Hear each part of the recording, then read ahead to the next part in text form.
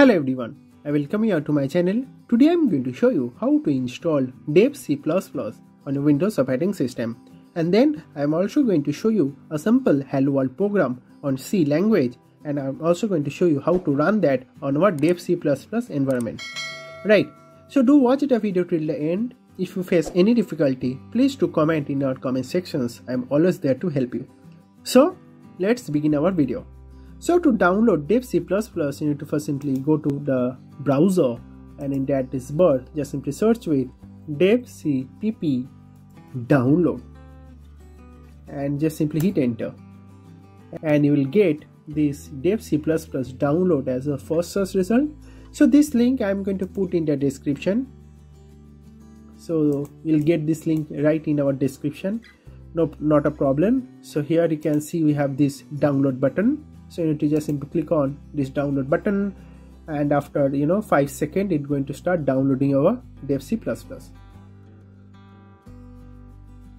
and see it has rightly started our dev c++ once our download gets completed you need to just simply click on this installer.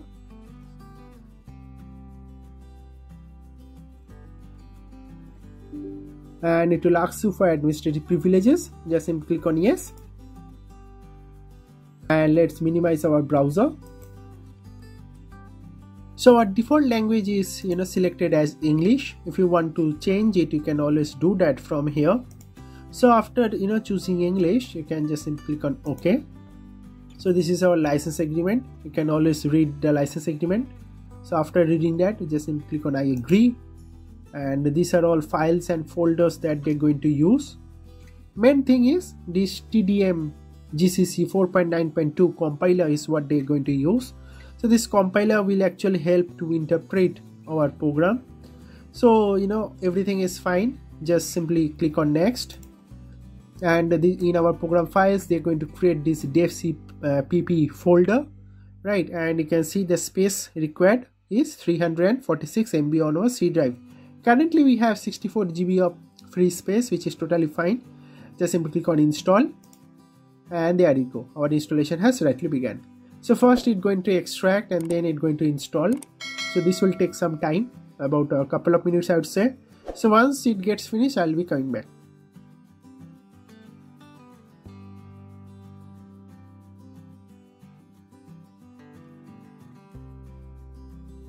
So we'll come back. And now you can clearly see that our dev c++ 5.11 setup is rightly completed. And also run dev c++ 5.11 this checkbox is rightly checked. So desktop shortcut is also created. Just simply click on finish to launch our dev c++ so here you need to configure our dev c++ so english original is our language which is fine. If you want to change as i have mentioned earlier you can change that. Just simply click on next. And uh, it is asking to choose our theme. So by default they have selected consolas. If you want to change with any of the theme over here just simply select and you can see the changes over here. I'm going to go back to the consolas. Right. And the color you can choose you know any of the color from here. Let's say want uh, you are willing to choose visual studio type of color. It will change to that theme if you want to choose ocean it's going to turn into blue and so on right? Twilight will be black. I'm going to select twilight for now. And icons also you can change. Right the, it will change to this type of icon. New look will be this. So this you can you know tweak and all. Just simply click on next. So dev c++ is rightly configured just simply click on ok. And there you go our uh, dev c++ is rightly opened over here. And this is our interface. So this is the most important thing. You can see our compiler is rightly selected over here. So sometimes what happen is yeah, this compiler get missing. And when you run the program it you get some error.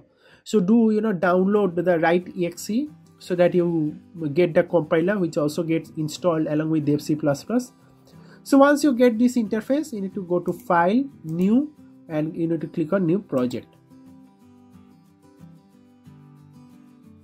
And here you need to choose what type of project you'd, you'd like to code. So i'm going to choose c. For c++ also it will be same process. Just simply choose you know empty project. Give the project name as hello c. Just simply click on ok. And uh, this is fine. Just simply save it and there you go. Our project hello c is rightly created. So here is our text file. So here let's save this file as uh, you know hello c dot c. So simply save this. So this dot c is our extension and hello c is our file name. So hash include i'm going to write a simple uh, program so this font might be very small to you. So i'm going to you know make it big. Editor option and I'm going to go to font and I'm going to increase the size to something really big so that you can you know watch this. No problem. So this is I hope you can now see it properly.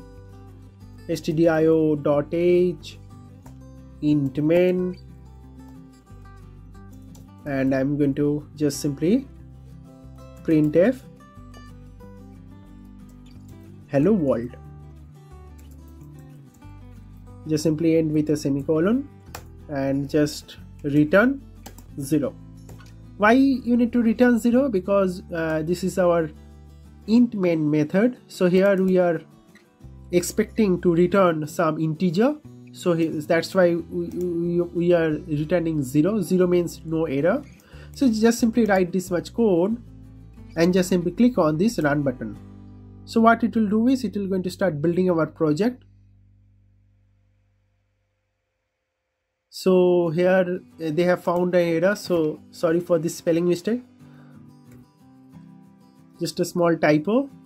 Just again click on this run button so you can see it has rightly builded successfully and you can see the output hello world is rightly shown right so this hello world is rightly shown over here so in this way you can easily install Dev C++ on a Windows operating system, I have rightly shown you how to download the right exe and how to install that on our Windows operating system. If you face any difficulty, please do comment in our comment sections. I'm always there to help you. Right.